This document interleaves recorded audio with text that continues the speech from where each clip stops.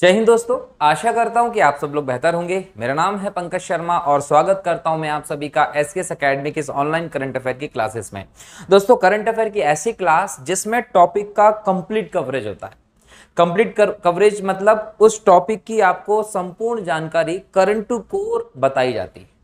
और जैसे ही आप पूरी चीज़ों को पढ़ते हैं, सुनते हैं नोट करते हैं तो आपका कहीं ना कहीं उस टॉपिक पे मास्टरी हो जाती है। आप उस टॉपिक को एग्ज़ाम में अगर देखेंगे तो सीधी सी बात है, बहुत बेहतर तरीके से उत्तर लगाएँगे। आपके उत्तर के गलत होने की संभावनाएँ नहीं बचती हैं। आज फिर हम ऐसे ही लेक्चर को लेकर आपके सामने आए हैं और लेक्चर जो होगा, वो आधारित होगा बाघ गणना रिपोर्ट 2022 पर।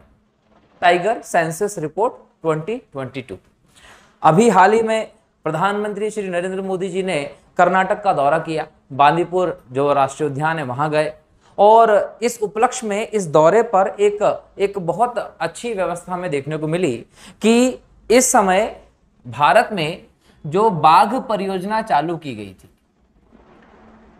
बाघ परियोजना चालू की गई थी 1973 में बाघों के संरक्षण के लिए। उसके हो गए 50 साल। कितने साल हो गए? 50 साल। अब 50 साल हो गए तो अपने आप में एक माइलस्टोन है ये। ये 50 साल हुए आपने बाघों की संख्या में एक अभूतपूर्व परिवर्तन किया, जहाँ जब बाघों के लिए परियोजना शुरू की जा रही थी, तब आपके देश में आठ से दस बाघ देखने को मिलते थे। इसीलिए ना बाघ परियोजना शुरू की गई थी। अब आठ से दस बाघ दिख रहे थे और आज जब हम इस रिपोर्ट में बात करेंगे तो लगभग तीन हज़ार एक सौ सड़सठ बाघ की बात की जाएगी। मतलब सोचिए कहाँ से कहाँ तक का सफ़र आपने 50 सालों में पूरा किया है। निश्चित तौर पर बाघ परियोजना को इसका श्रेय जाता ही है और पूरे वन विभाग प्रशासन को भी इसका श्रेय जाता है। अब ये बाघ गणना रिपोर्ट जो है 2022 की, वो इस प्रोजेक्ट टाइगर के 50 साल के कारण और भी बेहतर हमें देखने को मिल रही है। ठीक है? तो इन सब चीज़ को लेकर हम आज के इस लेक्चर में बात करेंगे बाघ गणना रिपोर्ट के बारे में। साथ ही साथ एक नए अलायंस के बारे में भी देखेंगे, जो मोदी जी ने उद्घाटित किया है। हम देखते हैं कि इस दुनिया में जो बिग कैट्स फैमिली के जो जानवर हैं, जिनमें बाघ आता है, शेर आता है, तेंदुआ आता है, चीता आता है, जगुआर आता है, ये सारे के सारे जो बिग कैट फैमिली के जीव हैं, इन जीवों का खाद्य श्रृंखला में एक सर्वोच्च स्तर है। और खाद्य श्रृंखला को, जैव विविधता को अगर हम संतुलित रखना चाहते हैं तो कहीं ना कहीं इन जीवों की सुरक्षा बहुत ज़्यादा ज़रूरी है।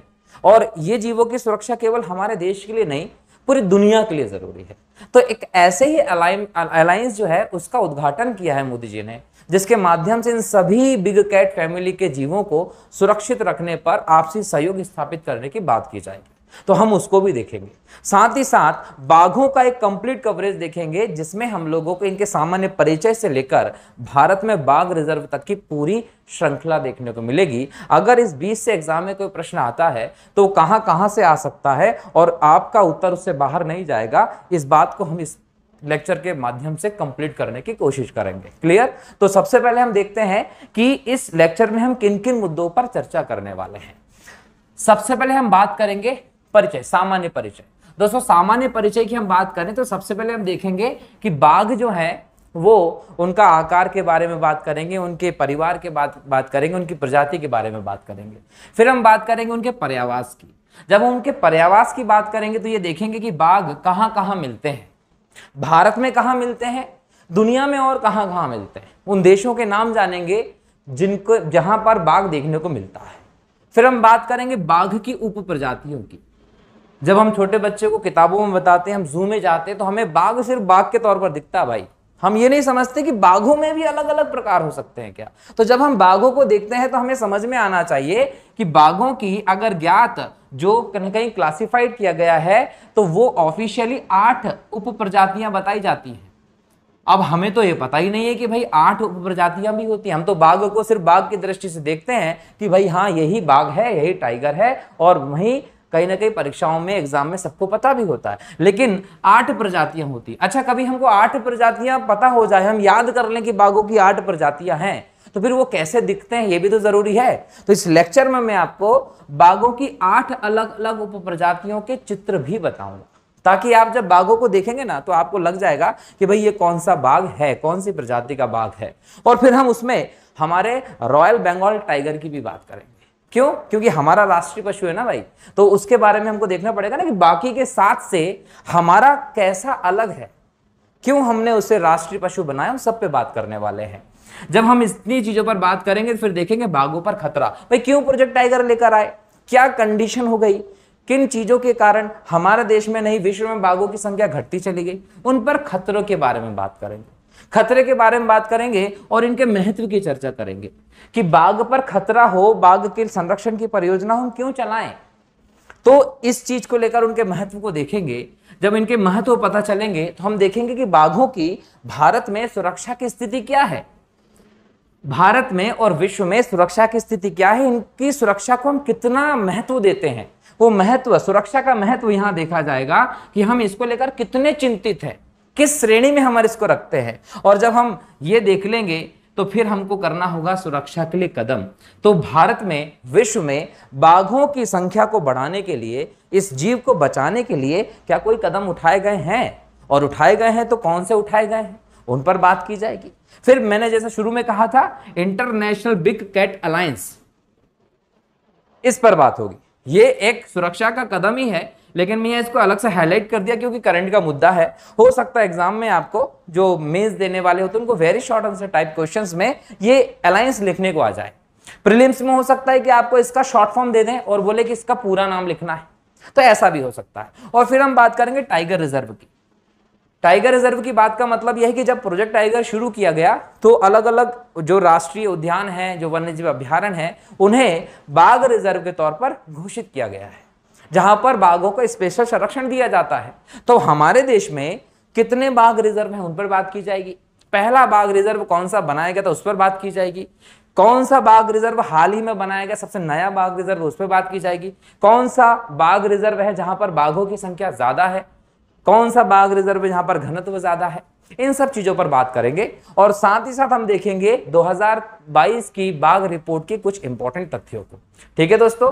तो कॉपी पेन ले लीजिए, तैयार रहिए। जो जो चीज़ें लिखेंगे, उन्हें आपको नोट्स बनाते जाना बेहतर तरीके से और कहीं ना कहीं आपका अच्छा नोट्स हो जाएगा। और ये बात याद रखिएगा, ये कंप्लीट नोट्स हो गया। इसके बाद जब जब आप आगे कोई चीज़ देखेंगे तो करंट अफेयर में उसको अपडेट कर लीजिएगा। अपने नोट्स को अपडेट करते जाइएगा। निसंदेह हम तो बताएँगे ही, लेकिन फिर भी आपके नोट्स अच्छे होना चाहिए, ये याद रखिएगा। तो अपडेट करते रहना है, यहाँ से आपको पूरी जानकारी मिल जानी है, ठीक? चलिए, सबसे पहले शुरू करते हैं, पहले विचार की, पहले टॉपिक की, जिसका नाम है भाई परिचय।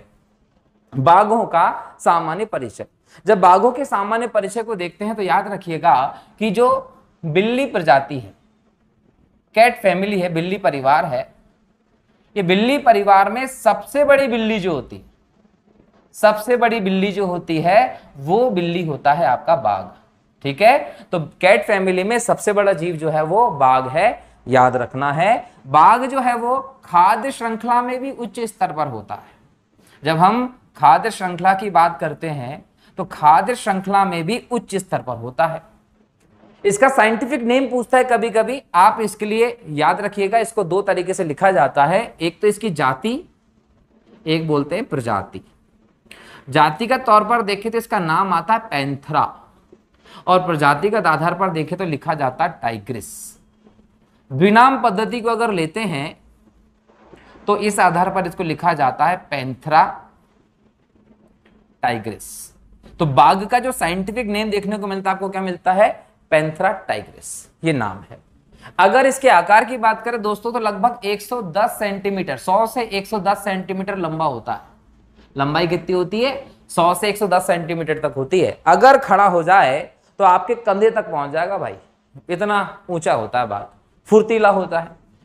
ये जो बाघ है, इसका हम रफ्तार की बात करें तो 50 से 60 किलोमीटर इसकी रफ्तार होती है।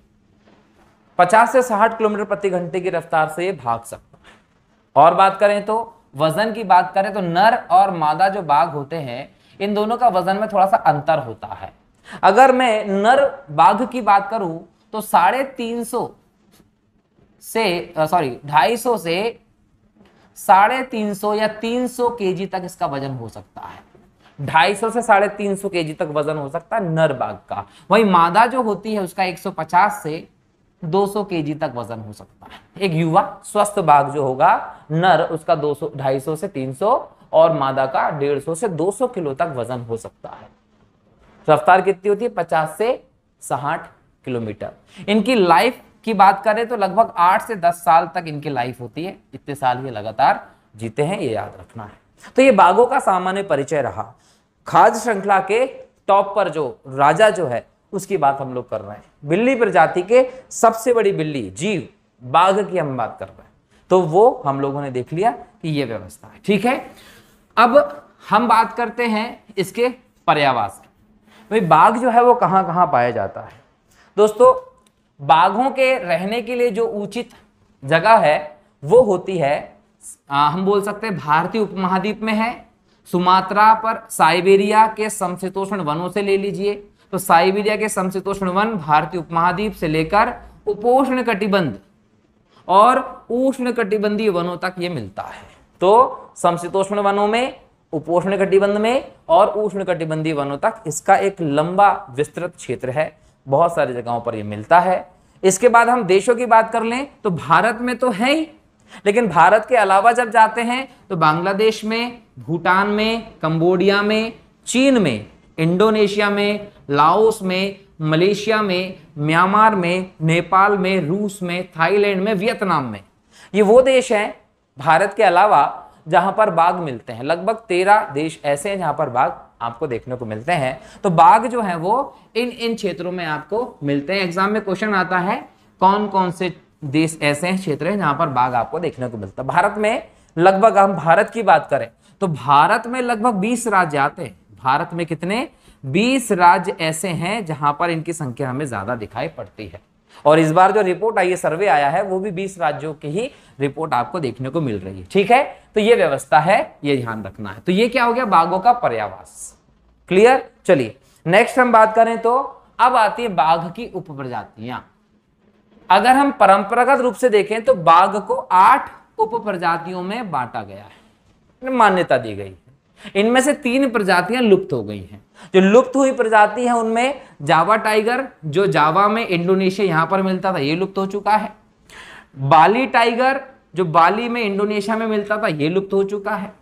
इसके अलावा हम बात करें तो कैस्पियन टाइगर जो था, जो मध्य और पश्चिमी एशिया से तुर्की तक मिलता था, वो भी लुप्त हो चुका है। तो ये वाली कैस्पियन सागर वाली, कैस्पियन टाइगर वाली जावा टाइगर वाली और बाली, ये तीनों टाइगर की प्रजातियाँ लुप्त हो चुकी बस्ती है पाँच, बंगाल टाइगर, हमारा टाइगर, भारत का राष्ट्रीय पशु, भारतीय उपमहाद्वीप में मिलता है ये प्रजाति है। इसके बाद आमूर टाइगर होता है, ये रूस में, चीन में, उत्तर कोरिया यहाँ पर मिलता है, साइबेरियन टाइगर के रूप में आप बोलते हैं इसको। दक्षिण चीन टाइगर, दक्षिण मध्य चीन में देखने को मिलता है। इसके अलावा सुमात्रा टाइगर, सुमात्रा इंडोनेशिया मिलता है। इसके अलावा इंडो चाइनीज़ टाइगर जो होता है, वो प्रायद्वीपीय भारत में, दक्षिण पूर्वी एशिया में आपको देखने को मिलता है। लाओस, कंबोडिया वाले जो देश है, वहाँ पर इंडो चाइनीज़ मिलता है। ठीक है? तो ये बाघों की आठ प्रजातियाँ हैं। इनके हम हम चित्र भी देखते हैं कि ये प्रजातियाँ जो है बाघों की आठों ये प्रजातियों में आपको देखने में क्या अंतर आता है? तो मुझे ज़्यादा बताने की ज़रूरत नहीं पड़ेगी। आप जैसी पिक्चर देखेंगे तो आपको अंतर इसमें दिखाई पड़ जाएगा। ये देखिए इंडो चाइनीज़ टाइगर ऐसा होता है। जब रूस, चीन के साइबेरियन टाइगर की बात करते हैं तो साइबेरियन टाइगर ऐसा होता है बाल बड़े होते हैं। सुमात्रा टाइगर इस प्रकार से दिखता है और मलायन टाइगर ऐसा दिखता है? थोड़ा सा लंबा दिख रहा है, ऊँचा सा। बाल थोड़े से कम दिख रहे हैं ना, गर्मी वाला क्षेत्र होता है इसलिए। तो बाघ जो है, वो देखिए चारों बाघों में आप अंतर सीधे देख सकते हैं। जो सुमात्रा टाइगर होता है, उसका डार्क शेड है थोड़ा सा, ठीक है? यहाँ पर आपको ठंडे प्रदेश में जाएँगे तो बाल जो होते हैं, वो बड़े देखने को मिलते हैं, ठीक है? ये सब चीज़ें आप ध्यान रखिएगा कि ये टाइगर हैं, ठीक है? अब हम बात करें किसकी? द रॉयल बंगाल टाइगर का। बंगाल टाइगर हमारा राष्ट्रीय पशु। बंगाल टाइगर जो है, वो हमारा राष्ट्रीय पशु है। और याद रखिएगा, राष्ट्रीय पशु के तौर पर इसको घोषित किया गया था कब? 1973 में। 1973 में घोषित किया गया रॉयल बंगाल टाइगर को भारत का राष्ट्रीय पशु। 1973 से पहले नहीं था क्या?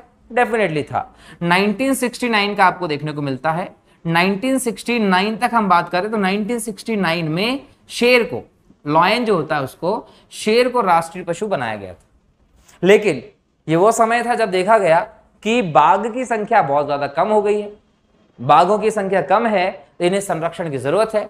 जब बाघों को स्पेशल संरक्षण की ज़रूरत है, इसका मतलब यह है कि इसे कैसे न कैसे करके महत्व और दिया जाए, तब 1973 में शेर की जगह पर आपने बाघ को राष्ट्रीय पशु बना दिया। अब बाघ को राष्ट्रीय पशु बनाने का काम किसने किया? यह काम किया था वन्य जीव बोर्ड ने। जो वन्य जीव बोर्ड है, इसने यह काम किया था कि बाघ को राष्ट्रीय पशु बनाया जाए।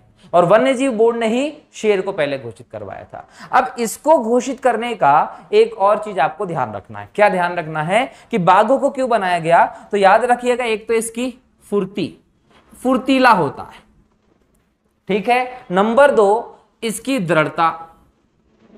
नंबर तीन की भाई खाद्य श्रृंखला पे सर्वोच्च है तो इस चीज़ को लगते हुए, कहीं ना कहीं आपने दृढ़ता को देखते हुए, फुर्तीलेपन को देखते हुए, इन सब चीज़ों के कारण आपने बाघ को ही राष्ट्रीय पशु बना लिया। और कारण रहा उस समय तत्काल की इनकी संख्या कम हो गई थी, संरक्षण की ज़रूरत थी। संरक्षण की ज़रूरत थी, इसलिए आपने कहा कि हाँ बाघों को राष्ट्रीय पशु जो है, बाघ को बनाना चाहिए। तब जाकर आपने बाघ को राष्ट्रीय पशु बना दिया 1973 में याद रखना है। उसके पहले क्या था? शेर हुआ करता था। किसने बनाया? वन्यजीव बोर्ड ने घोषित किया है। क्लियर चलिए, अगर एग्ज़ाम में क्वेश्चन कभी पूछ सकता है बाघ के पहले कौन था? अब देखिए, ये तो हो गई बाघ की, है ना बंगाल टाइगर की बात, जो कि हमारे देश में सभी जगह मिलता है। बेसिकली हम बंगाल में देखते हैं, सुंदरबन के डेल्टा वाले क्षेत्र में तो हमें ये देखने को मिलता है। हमारे देश में बंगाल टाइगर जो है, उसकी ज़्यादा स्थिति है। सभी बागों में हम इसको ज़्यादा ताकतवर मानते हैं, सबसे ज़्यादा फुर्तीला मानते हैं। आकार भी इसका देखिए, पूछ भी देखिए, लंबी बहुत सारी चीज़ें हैं। ये एक अलग स्पेशल व्यवस्था है, ठीक? चलिए, इसके बाद हम देखते हैं खतरे। एक बात करते हैं खतरे का, फिर बात करते हैं हम महत्व की। बाघों को खतरा क्या है? तो सबसे पहला खतरा है इसके पर्यावास का। है ना? कहीं ना कहीं पर्यावास का खतरा है। हम लोगों ने क्या किया है? पर्यावास के खतरे के बाद हम देखें तो इसके जो समक्ष जो और खतरा आ रहा है, वो आ रहा है इसके पर्यावास के विखंडन का। ठीक है? पर्यावास का खतरा है, पर्यावास के विखंडन का खतरा है, इसके अलावा इसका शिकार हो जाता है। ये भी इसके ऊपर खतरा है। क्लियर तो कहीं ना कहीं ये समझना है और एक आपको दिखाई पड़ता है जलवायु परिवर्तन।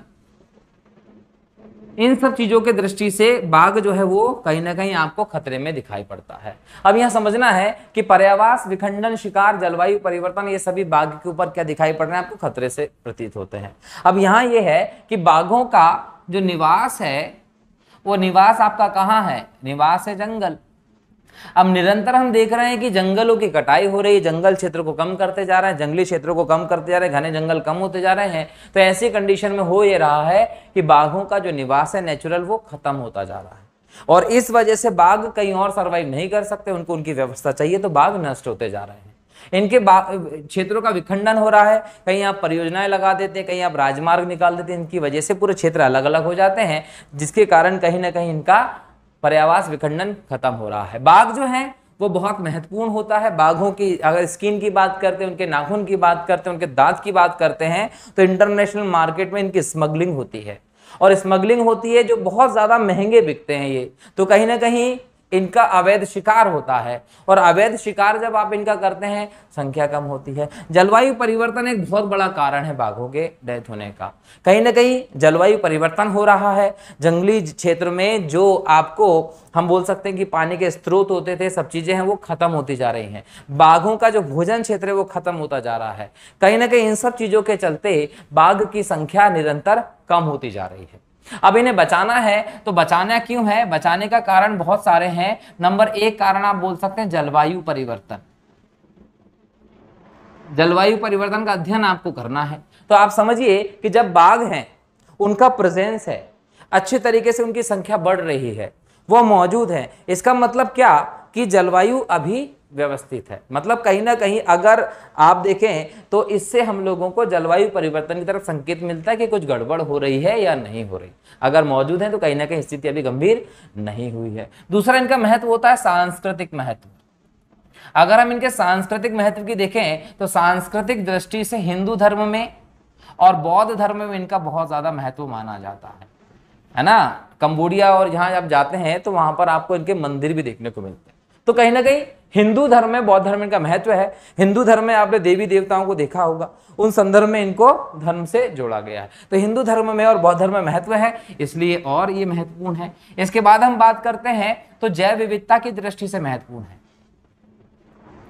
जैव विविधता की दृष्टि से महत्वपूर्ण है, खाद्य श्रृंखला का प्रबंधन करके रखते संतुलन बनाकर रखता है। जैव विविधता अगर आपको बनाए रखनी है तो बाघों का होना ज़रूरी है। मान लीजिए कि अगर बाघों की संख्या कम हो जाए, बाघ जो हैं, वो कम हो जाएँगे तो ऐसे में जो शाकाहारी जीव रहेंगे, जिनको ये खाते हैं, उनकी संख्या बढ़ जानी है। और वो कहीं ऐसे जीवों को खत्म कर देंगे, ऐसे वनस्पति और इन सब चीज़ों पर संकट आ जाएगा। तो मतलब यह है कि खाद्य श्रृंखला में हर एक स्तर का एक निश्चित प्रबंधन है, जो कि पिरामिड व्यवस्था में आपको देखने को मिलता है।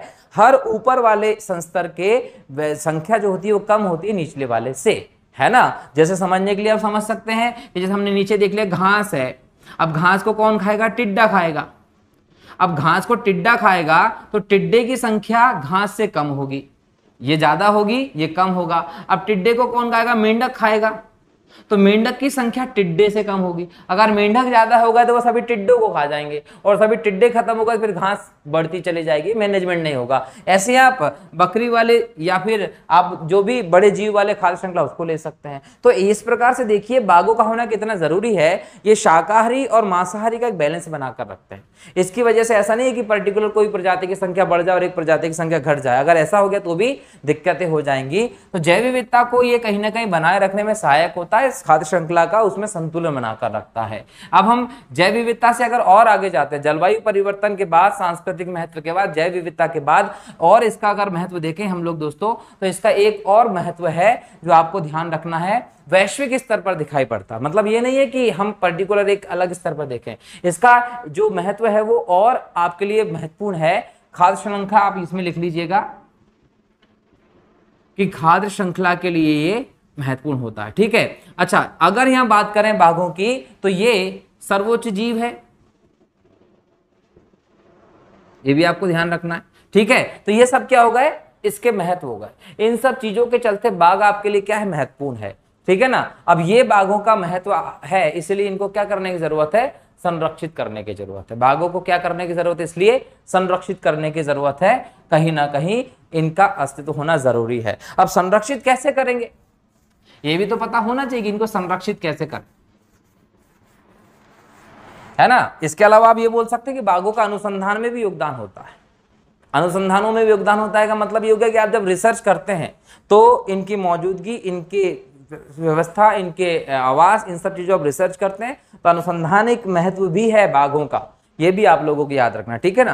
तो ये महत्व हुआ। अब हम बात करें इनके संरक्षण के लिए। संरक्षण के लिए हम लोगों को ये तो पता करना पड़ेगा खतरा कितना है। तो खतरे में यहाँ पर इनकी स्थिति जो है वो ये है कि सुरक्षा देने के लिए इनको वन्य जीव संरक्षण अधिनियम 1972 हमारे देश में वन्य जीवों को, जो भी आपके वन्य जीव होते हैं, उनकी सुरक्षा के लिए एक अधिनियम बनाया गया था 1972 में। अब ये जो अधिनियम बनाया गया था 1972 में, इसके अंतर्गत छह अनुसूची शामिल की गई। ये जो छह अनुसूची शामिल की गई थी, इन छह अनुसूची में पहली अनुसूची जो है, ये विशेष है। ऐसे जीव जो लुप्त होने की कगार पर हैं, ऐसे जीव जो लुप्त होने की कगार पर हैं, जिन्हें विशेष संरक्षण की ज़रूरत है, उन्हें हम वन्य जीव की संरक्षण अधिनियम की पहली अनुसूची में शामिल करते हैं। याद रख लीजिएगा पहली अनुसूची में किस पर शामिल करेंगे? जिन पे घोर संकट है। जिनको आप लुप्त तो होने की कगार पर है। ऐसे जीवों के संरक्षण के लिए अनुसूची एक 1972 के अधिनियम में व्यवस्था की गई है। और इन पर संकट जो किसकी वजह से है? शिकार की वजह से है, अवैध व्यापार की वजह से है। है ना? इन सब चीज़ों के कारण इसमें संकट है। तो इन पर रोक करने के लिए इसको इसमें शामिल किया गया है। अगर किसी ने ऐसे जीव जो इसमें शामिल है, उन पर उनका ट्रेड किया, उनको बेचा, उनको मारा, उनके अंगों का व्यापार किया तो उनको इसके तहत कठोर दंड दिया जाता है। अगर हम बात करें आईयूसीएन की रेड लिस्ट के अनुसार आई यू सी एन मैंने अपने पुराने लेक्चर्स में आईयूसीएन को लेकर बात की है। आईयूसीएन जिसकी स्थापना 1948 को की गई थी, स्विट्जरलैंड के बोल सकते हैं, ग्लैंड शहर। ग्लैंड शहर जो है, वहाँ पर इसका मुख्यालय है और कहीं ना कहीं ये रेड लिस्ट जारी करता है। रेड लिस्ट में नौ श्रेणी है और इसमें जो नौ श्रेणी है, उसमें विलुप्त होने की कगार वाली जो श्रेणी उस पर है। मतलब अगर इसका संरक्षण नहीं किया गया तो विलुप्त हो जाएगा। मतलब सोचिए कितना ज़्यादा इसको ध्यान दिया जा रहा है। जब हम साइट्स की बात करते हैं साइट्स क्या है? साइट्स ऐसा है जो अंतरराष्ट्रीय व्यापार पर एक अभिसमय है। किसके अंतरराष्ट्रीय व्यापार पर? लुप्त हो रही प्रजाति। किसकी लुप्त हो रही प्रजाति? वनस्पति और जीवों की। मतलब दुनिया में वनस्पति और जीवों की जो लुप्त हो रही प्रजाति है, अगर आप उनका व्यापार करते हो तो उस पर एक अभिसमय, एक व्यवस्था बनाई गई है, जो जिसे हम साइट्स के नाम से जानते हैं, और साइट्स की परिशिष्ट एक में यह शामिल किया गया। है क्या? बाघों की सुरक्षा को। तो देखिए कितना लेवल पर इसकी सुरक्षा को शामिल किया गया और ज़रूरी है तो ये कहीं ना कहीं अंतर्राष्ट्रीय और राष्ट्रीय स्तर पर विभिन्न माध्यमों से इसको सुरक्षा देने की, कानून व्यवस्था की, नियम बनाने की बात की गई है। अब नेक्स्ट चैप्टर में हम बात करते हैं, सुरक्षा हेतु इसके लिए कौन कौन से कदम उठाए गए हैं। जब हम इसके लिए उठाए गए कदमों की बात करते हैं तो भारत में प्रोजेक्ट टाइगर की शुरुआत होती है 1973 में। प्रोजेक्ट टाइगर 1973 में आया और इसके लिए हम दो लोगों का नाम कहीं ना कहीं बोलते हैं। एक व्यक्ति का नाम क्या है? एक व्यक्ति को हम बोलते हैं मैन फोर्ड गैनिमिड।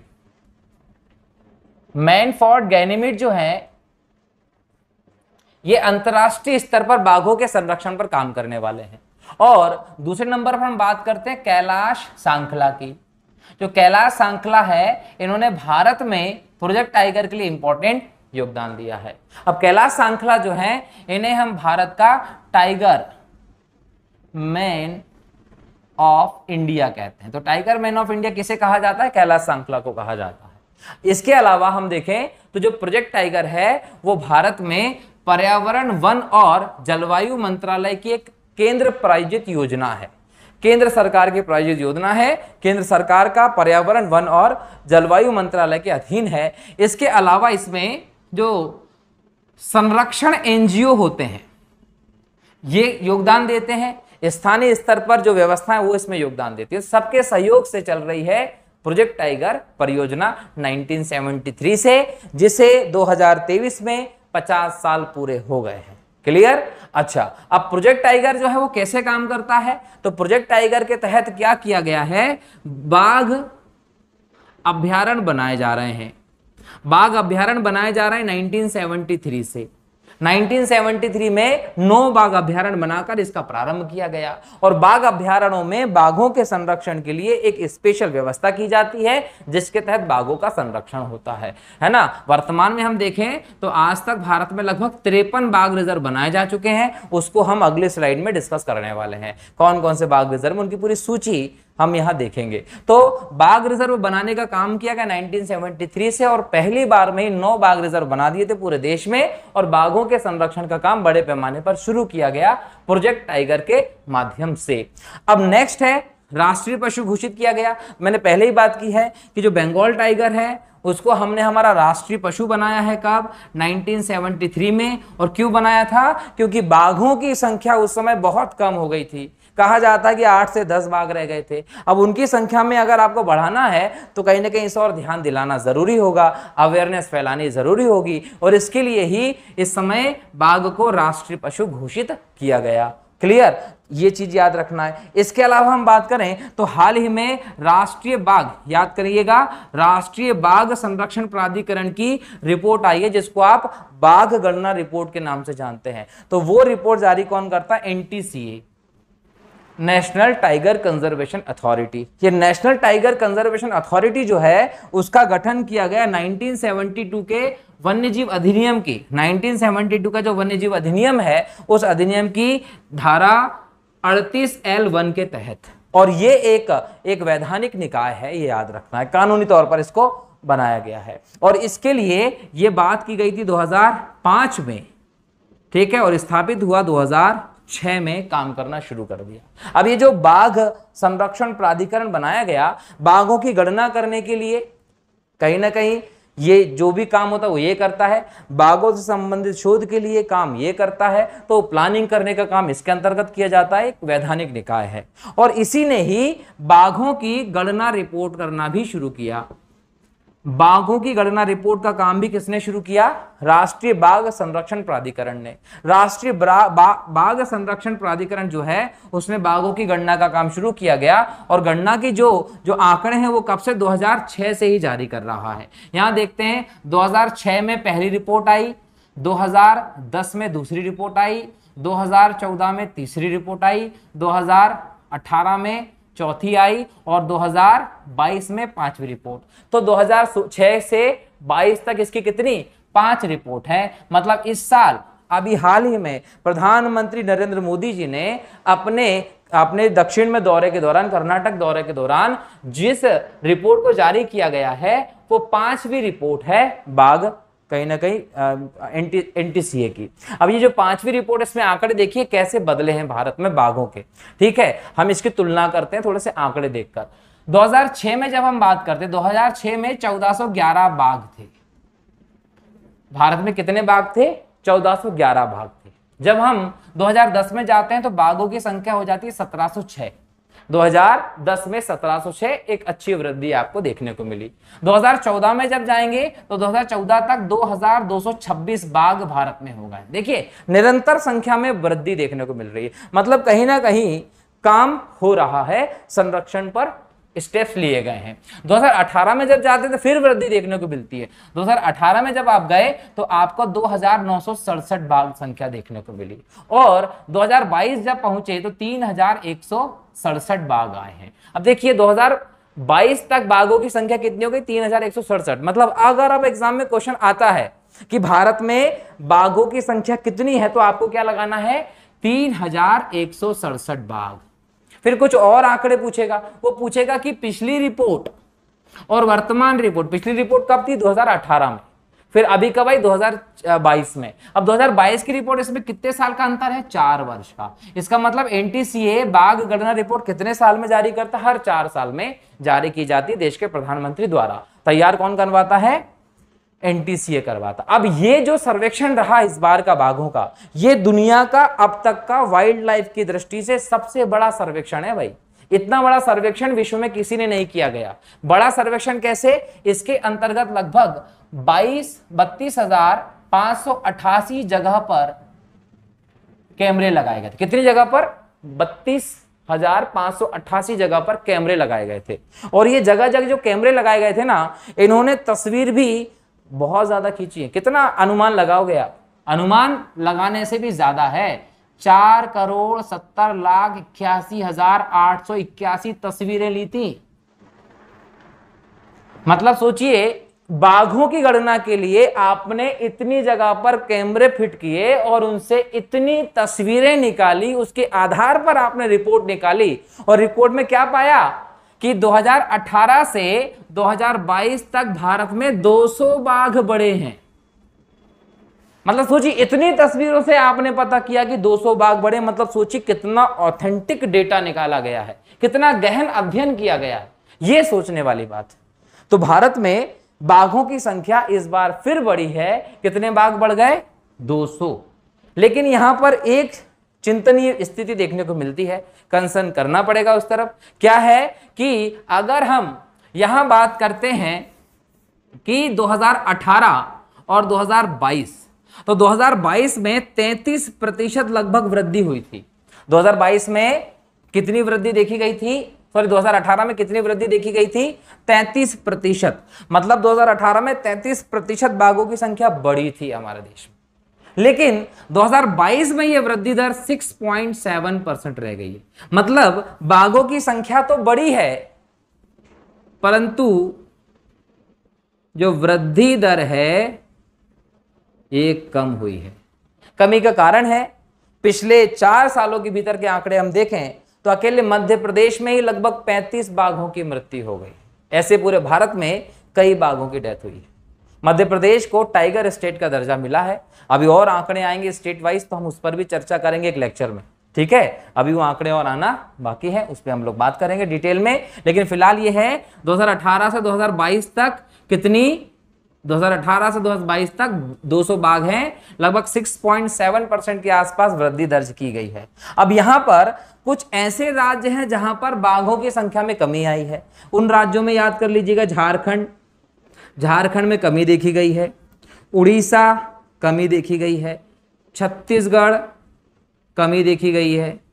हरियाणा क्षेत्र की बात कर लें तो यहाँ पर भी कमी देखी गई है। तो ये ऐसे राज्य हैं जहाँ पर बाघों की संख्या में कमी आई है। बराबर? लेकिन अगर हम वृद्धि की बात करें तो जो हिमालय क्षेत्र है, हिमालय का जो शिवालिक क्षेत्र आता है यहाँ पे जो बाघ अभ्यारण है। और इसके अलावा गंगा के मैदान के जो बाघ अभ्यारण है, इन बाघ अभ्यारणों में बाघों की संख्या बहुत अच्छे से बढ़ी है। मतलब बाघों की संख्या में वृद्धि कहाँ हुई है? इन क्षेत्रों में वृद्धि देखी गई है, इन राज्यों में कमी। और कमी की दृष्टि से अगर हम बात करते हैं तो कमी हमको एक और जगह देखने को मिली। कमी हमको कहाँ देखने को मिली? आप चले जाइए पश्चिमी घाट। पश्चिमी घाट जो है, ये है भारत के पश्चिमी तट के समानांतर फैली हुई पर्वत श्रृंखला, जो गुजरात से लेकर कन्याकुमारी केरल तक विस्तृत है।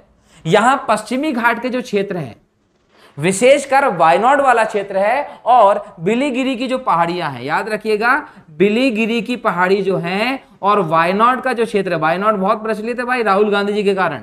राहुल गांधी जी की सदस्यता गई है, यहीं से सदस्य थे राहुल जी।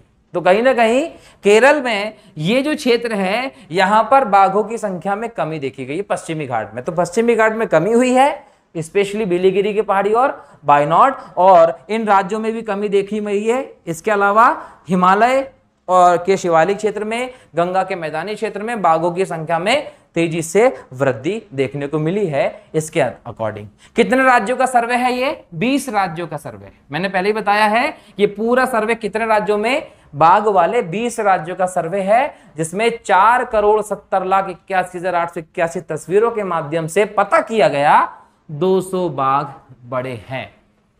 एक और चीज़, जब हम कदम की बात कर रहे हैं बाघों के संरक्षण के लिए तो बाघों के संरक्षण के लिए केंद्र सरकार ने भी कदम जो है इनके तहत और प्रयास को बढ़ावा दिया है। जहाँ हम बात करें 2014 तक, बाघों के संरक्षण के लिए जो प्रोजेक्ट टाइगर हुआ करता था, उस पर जो बजट होता था वो 150 करोड़ से 180 करोड़ के बीच में होता था।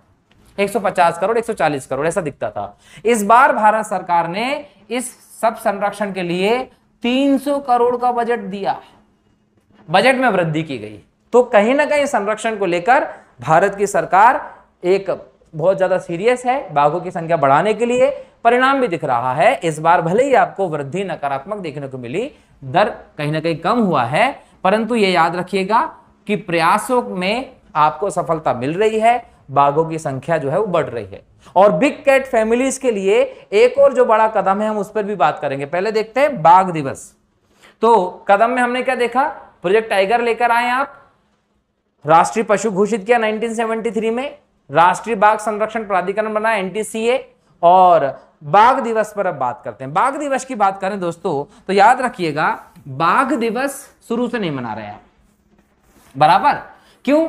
उसका एक कारण है। हमने देखा कि विश्व में लगभग तेरह से देश हैं, ऐसे हैं जहाँ पर बाघों की संख्या ज़्यादा है।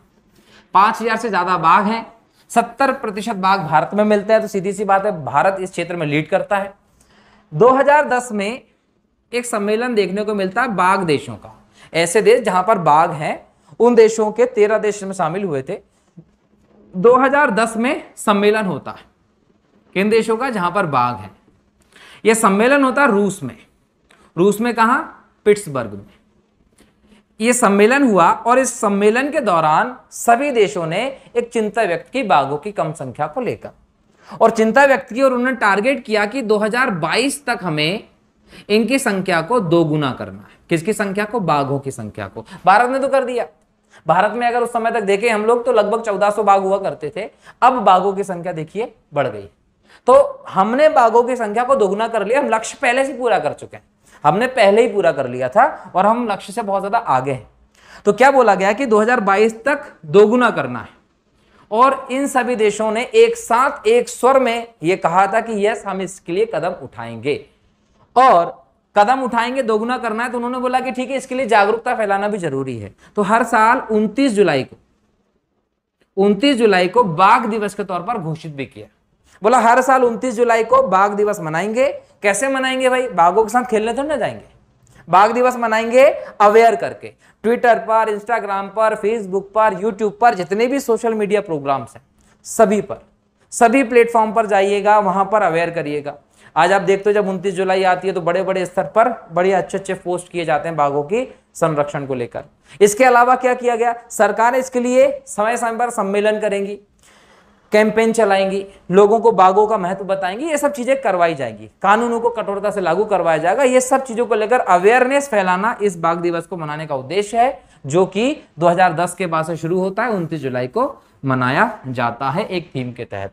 ये तो हमने बात की किसकी सुरक्षा के लिए, कुछ कदमों की। अब हम बात करते हैं स्पेशली एक इंटरनेशनल बिग कैट अलायंस के बारे में। इंटरनेशनल बिग कैट अलायंस की अगर हम बात करें तो याद रखिएगा इसमें, ये अलायंस जो है वो 9 अप्रैल को जब मोदी जी ने घोषणा की थी, किसकी? इस रिपोर्ट की। उस समय इस अलायंस का भी उद्घाटन किया था। और इस अलायंस का जो उद्घाटन किया, उसके माध्यम से यह किया कि जगवार मैं यहाँ जीवों के नाम लिखता हूँ, जिसको शामिल करेंगे जगवार को इसमें शामिल किया गया है। बाघ को इसमें जगह दी गई है। शेर, चीता, तेंदुआ है ना? ये सारे के सारे जो बिग कैट फैमिली के जीव हैं, इन सबको संरक्षण देना। और इन सबको संरक्षण देने के लिए वैश्विक स्तर पर यह पहल की गई है। इसके अंतर्गत ये कहा गया कि इनको संरक्षण देना है, जैव विविधता को बनाकर रखना है फ़ूड चेन के संतुलन को बनाकर रखना है, और कहीं ना कहीं सबको एक साथ कदम उठाना पड़ेगा। कदम कैसा उठाएँगे? इस अलायंस के तहत। इस अलायंस के तहत कहीं ना कहीं यह व्यवस्था की गई कि सभी तकनीकी का हस्तांतरण करेंगे, आपसी सहयोग करेंगे और आपसी सहयोग के आधार पर ही इस अलायंस का काम होगा। तो आपसे एग्ज़ाम में पूछा जाता तो इसको भी याद रखिएगा कि इंटरनेशनल बिग कैट अलायंस जो था वो कब और किस देश ने शुरू लॉन्च किया और इसके तहत क्या व्यवस्था होगी, ठीक है? अब सुरक्षा के लिए उठाए गए कदमों में थोड़ा सा एक और अध्याय को जोड़ते हैं। वो है प्रोजेक्ट टाइगर प्रोजेक्ट टाइगर की सूची हम लोग देखने वाले हैं। हम लोग जब प्रोजेक्ट टाइगर की बात करते हैं तो हमारे दिमाग में आता है कि ऐसा क्षेत्र ऐसा क्षेत्र जो कोई बाघ अभ्यारण बनाया गया है। अब बाघ अभ्यारण किस क्षेत्र को बनाएँगे तो याद रखिएगा, या तो ये एक अभ्यारण हो सकता है। अभ्यारण कौन सा? वन्य जीव अभ्यारण। या फिर कोई राष्ट्रीय पार्क होता है। तो वन्य जीव अभ्यारण्य या राष्ट्रीय पार्क को, वहाँ की परिस्थिति को देखते हुए, बाघों के लिए संरक्षण की स्थिति को देखते हुए, वातावरण को देखते हुए घोषित किया जाता है किसके तौर पर? बाघ अभ्यारण्य के तौर पर और वहाँ पर बाघों के संरक्षण की स्पेशल व्यवस्थाएँ करनी शुरू कर दी जाती है। अब ये जो परियोजना शुरू की गई थी, वो 1973 में शुरू की गई थी। कैलाश सांखला जी का हम नाम ले चुके इंपॉर्टेंट योग था। तो ये परियोजना 1973 में शुरू की गई थी और शुरू से ही 1973 में ही भारत में नौ टाइगर रिज़र्व बनाए गए। नौ टाइगर रिज़र्व बनाए गए, उनमें कौन कौन से थे? मानस, पलामू रणथंबौर बांदीपुर, कान्हा, मेलघाट, जिम कार्बेट, सुंदरवन और सिमलीपाल। ये वो टाइगर रिज़र्व हैं जो शुरू में बनाए गए थे। सबको एक साथ एक डेट पे याद कर सकते हैं आप लोग। इन सबके राज्य की, इनके क्षेत्रफल की बात अगले स्लाइड में करूँगा। तो प्रोजेक्ट टाइगर का जो प्रारंभ है, वो 1973 से किया गया था, जो कि बाघों के संरक्षण के लिए उठाया गया एक महत्वपूर्ण कदम है, कहीं ना कहीं याद रखना है। तो ये रहे वो क्रम। सबसे पहले कौन सा? नागार्जुन सागर श्री सैलम। नागार्जुन सागर श्री सैलम जो है, ये आंध्र प्रदेश में है, और लगभग तीन हज़ार दो सौ छियानवे वर्ग किलोमीटर में फैला है। याद रखिएगा, ये देश का सबसे बड़ा बाघ अभ्यारण है। सबसे बड़ा बाघ अभ्यारण है और आंध्र प्रदेश में है, ये याद रखना। कौन सा? नागार्जुन सागर श्रीसैलम बहुत ही खूबसूरत अभ्यारण है, देखिएगा। नेक्स्ट है नाम दफ़ा। अरुणाचल प्रदेश में लगभग दो हज़ार पचास बावन वर्ग किलोमीटर के आसपास फैला है। ये भारत का सबसे ऊँचा बाघ अभ्यारण है। ये भारत का सबसे ऊँचा बाघ अभ्यारण्य अरुणाचल प्रदेश में है। कहीं ना कहीं एक बड़े लेवल पर बाघों का संरक्षण होता है। इसके अलावा अरुणाचल प्रदेश में दो और बाघ अभ्यारण्य हैं। याद रखिएगा, उनमें एक है कमलंग और एक है पक्के। सारे इंपॉर्टेंट जो हाल ही में चर्चा में रहे, ये अभ्यारण्य याद रखिएगा। असम में जाएँगे तो असम में मानस है, असम में नामेरी है और असम में औरंग टाइगर रिज़र्व है। तो औरंग टाइगर रिज़र्व कहाँ है ये पूछा जाए तो क्या बताएँगे? असम में है। नामेरी कहाँ है? असम में है। मानस कहाँ है तो असम में है। इसके अलावा अगर पक्के टाइगर रिज़र्व पूछ लिया जाए तो अरुणाचल प्रदेश में है। कमलंग पूछ लिया जाए तो अरुणाचल प्रदेश में नाम दफ़ा अरुणाचल प्रदेश में। सबसे ऊँचा है भारत का, ठीक है? नागार्जुन सागर, सिरिसलम पूछ लिया जाए तो आंध्र प्रदेश में है, सबसे बड़ा है, ठीक? इसके अलावा असम में ही है कांजीरंगा। कांजीरंगा बहुत फ़ेमस है। लगभग ग्यारह तिहत्तर वर्ग किलोमीटर फैला असम में है। कांजीरंगा याद रखिएगा। वाल्मीकि वाल्मीकि बिहार का है। वाल्मीकि जो बाघ रिज़र्व, वो बिहार में है। इसके अलावा उदंती सीता नदी छत्तीसगढ़ में है है ना? छत्तीसगढ़ में आपको अलग अलग देखने को मिल रहे हैं। उदंती सीता नदी जो है छत्तीसगढ़ में है। अचानक मार छत्तीसगढ़ में है। अचानक मार्ग जो है उसका कुछ हिस्सा मध्य प्रदेश में भी आता है। अमरकंटक अचानक मार्ग जिसको कहते हैं आप। छत्तीसगढ़ में। इंद्रावती जो है वो भी छत्तीसगढ़ में है, ये भी याद रखिएगा। इसके अलावा पलामू, बांदीपुर और भद्रा। ठीक है? पलामू, बांदीपुर, भद्रा, इसके अलावा दांदेली, नागरहोल और बिलीगिरी। ये सभी के सभी कहा है? कर्नाटक में। तो ये जो है, ये इंपॉर्टेंट टाइगर रिजर्वेशन तो बिलीगिरी, नागरहोल, दांदेली, भद्रा, बांदीपुर, पलामू, ये सबके नाम याद रख लीजिएगा, खासकर बांदीपुर तो। है ना? मोदी जी यहीं गए थे। और बढ़िया अच्छी फोटोग्राफ्स आप देखिएगा, इनकी खींची है, बिल्कुल हाई क्वालिटी में, है ना? कहाँ? बांदीपुर में टाइगर के दर्शन कर रहे थे। हम लोगों को तो देखने को नहीं मिलता, लेकिन मोदी जी की किस्मत अच्छी मिल गए थे उनको। खैर तो बिलीगिरी, है ना? उनके लिए तो घेर के ही ले आएँगे। बोले, देखो, मोदी जी आए है ना? चलो, देखने के लिए चलते हैं। तो कहीं ना कहीं एक अच्छी व्यवस्था है। देख लिए, काफ़ी सारे बाघ फ़ोटो खिंचा लिए। हाँ लेकिन ये कर्नाटक में कौन कौन से वो याद रख लीजिएगा। कर्नाटक में सभी के नाम याद रखना। इसके अलावा पेरियार और परम्बिकुलम जो है वो केरल में है। तो इन बाघ रिज़र्व का नाम याद रखिएगा कि कौन कौन से बाघ रिज़र्व कहाँ हैं? क्लियर हाँ। अब नेक्स्ट देखते हैं और कौन से बाघ रिज़र्व है। अगला बाघ रिज़र्व है आपका कान्हा। कान्हा, पेंच, बांधवगढ़, पन्ना, सतपुड़ा, संजय डुबरी। कितने हो गए? ये छह हो गए। कान्हा, पेंच, बांधवगढ़, पन्ना, सतपुड़ा और संजय डुबरी अगर एमपीपीएससी दे रहे हो, सबकी डेट के साथ याद करिए, क्षेत्रफल के साथ याद करिए। कान्हा किसली मध्य प्रदेश का सबसे बड़ा राष्ट्रीय उद्यान है, पहला राष्ट्रीय उद्यान है, और बाघों की संख्या की दृष्टि में भी कहीं ना कहीं आगे है। बांधवगढ़ ऐसा है जहाँ पर बाघों की संख्या ज़्यादा है। बांधवगढ़ जो है उमरिया का, इसमें संख्या ज़्यादा है। सतपुड़ा जो है, ये पचमढ़ी क्षेत्र में आता है होशंगाबाद में। बाघों की दृष्टि से बहुत आगे है। यहाँ पर आपको कहीं ना कहीं विशेष क्षेत्र मिलते हैं बाघों को देखने के लिए क्लियर और इसके अलावा संजय डुबरी जो है वो मध्य प्रदेश में पूर्वी क्षेत्र में स्थित है। मध्य प्रदेश के पूर्वी क्षेत्र में, सीधी जाते हैं, तब पड़ता है। तो ये मध्य प्रदेश के छह हैं, ये याद रखिएगा। इसके अलावा आप लोगों को एक और है, आगे आएगा वैसे तो लेकिन याद रख लीजिएगा राता पानी राता पानी रायसेन में है, एक अभ्यारण है, और इसको भी मध्य प्रदेश में बाघ रिज़र्व बनाया गया है। तो मध्य प्रदेश में सात जगह पर प्रोजेक्ट टाइगर चल रहा है याद रखना। ठीक है? महाराष्ट्र में जाएँगे तो महाराष्ट्र में काफ़ी सारे हैं, जिनमें मेलघाट है, तडोबा है, पेंच है, सहयाद्री है, नवे और बोर। बोर जो है, वो सबसे छोटा है। बोर जो है, वो सबसे छोटा बाघ अभ्यारण्य के तौर पर जाना जाता है। तो ये मध्य प्रदेश के रहे और ये महाराष्ट्र का एक एक का याद रख लीजिएगा नाम। दंपा जो है, दंपा बाघ रिज़र्व मिजोरम में है। और सिमलीपाल बहुत प्रसिद्ध है, उड़ीसा में है। सिमलीपाल हाल ही में चर्चा में भी रहा है, लेकिन वो चर्चा में किसी और वजह से रहा था, ठीक है? कछुआ और इन चीज़ों के कारण मैंने डिस्कस किया था करंट अफेयर में तो देख लीजिएगा उस लेक्चर को भी। तो ये सिमलीपाल तक हम आए। इसके बाद जाए तो सतकोशिया, ये भी उड़ीसा में है। राजस्थान में जाए तो राजस्थान में हमें रणथंबौर, सरिस्का और मुकुंदरा हिल्स मिलता है। रणथंबौर जो है, वो बहुत फ़ेमस टाइगर रिज़र्व है। अगर यहाँ टाइगर देखना चाहते हैं, यहाँ जाएँगे तो डेफिनेटली आपको साइटिंग हो जाती है। क्लियर आप इसके अलावा जाएँ तो तो कलाकड़ मुंडन थुरई। इसके बारे में मैंने अभी पिछले सप्ताह ही बात की थी। कलाकड़ मुंडन थुरई तमिलनाडु का टाइगर रिज़र्व है। ठीक है? पहला टाइगर रिज़र्व था तमिलनाडु का। इसके अलावा अन्नामलाई, मुदुमलाई और सत्यमंगलम, ये तमिलनाडु के अन्य टाइगर रिज़र्व हैं। तेलंगाना में कवल और अमराबाद टाइगर रिज़र्व मिलता है। उत्तर प्रदेश में दुधवा और पीलीभीत, ये बहुत फ़ेमस है। ये उन टाइगर रिज़र्व में आता है जहाँ पर संख्या में वृद्धि देखी गई है 2022 में। ठीक है? तो ये सब चीज़ याद रखिएगा। दुधवा और पीलीभीत दोनों उत्तर प्रदेश के नेक्स्ट है जिम कार्बेट जिम कार्बेट पहला टाइगर रिज़र्व माना जाता है उत्तराखंड का। मतलब भारत में पहला अगर कोई टाइगर रिज़र्व बना तो वो जिम कार्बेट था। 1973 में बना था पहला टाइगर रिज़र्व उत्तराखंड में।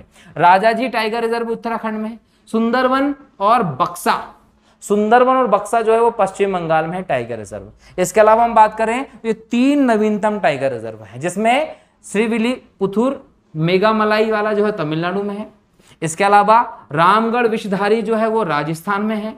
और सबसे नवीनतम जो है वो गुरु घासीदास राष्ट्रीय उद्यान है छत्तीसगढ़ में, जिसको सबसे नवीनतम टाइगर रिज़र्व तौर में भारत में घोषित किया गया था। तो ये हमने भारत के पूरे तिरपन टाइगर रिज़र्व देखे।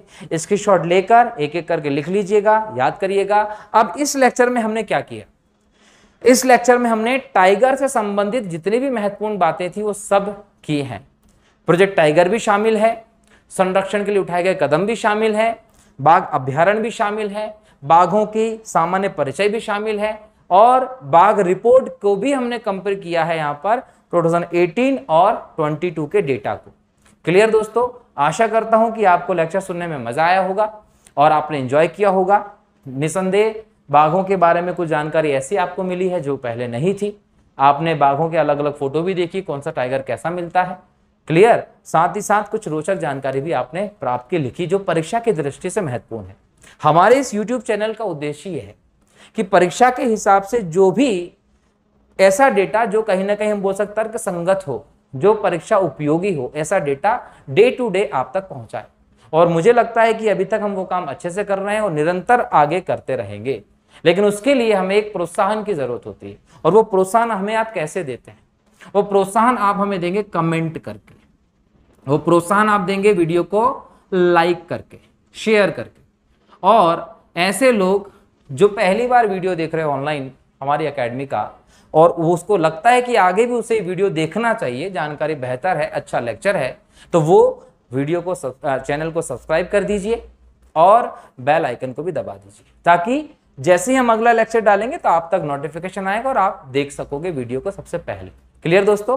तो आशा करता हूँ कि आपको समझ में आया है। मिलता हूँ अगले टॉपिक में, फिर अगले लेक्चर में नए टॉपिक के साथ। तब तक के लिए बहुत बहुत शुक्रिया बहुत बहुत धन्यवाद। जय हिंद।